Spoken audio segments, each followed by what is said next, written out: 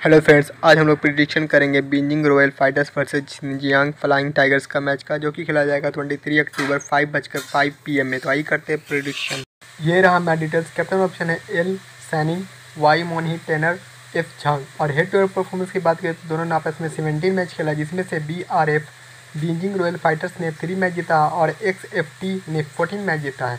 Win property की बात करें तो बी आर एफ़ के लिए रहेगा थर्टी परसेंट और एक्स एफ़ टी के लिए रहेगा सेवेंटी परसेंट स्कोर प्रडिक्शन रहेगा बी आर एफ़ के लिए एट्टी सेवन और वन हंड्रेड सेवन रहेगा एक्स एफ़ टी के लिए।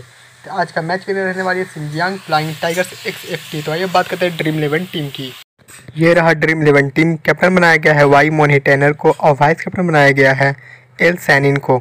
इसी तरह प्रडिक्शन देखने के लिए हमारे चैनल को सब्सक्राइब करें। Thank you